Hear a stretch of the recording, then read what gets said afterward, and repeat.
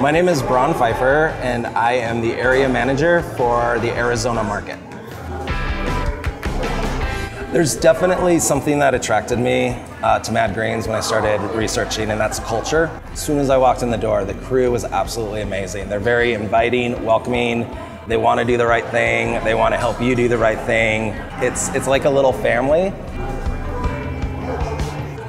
What we're looking for are upbeat, fun people, energetic, that are really looking at getting in on the ground floor with a company that's going to grow. I'm excited to get Mad Greens going down there because I think we're going to swoop in and people are going to love it immediately and it's going to be, I think, awesome from day one.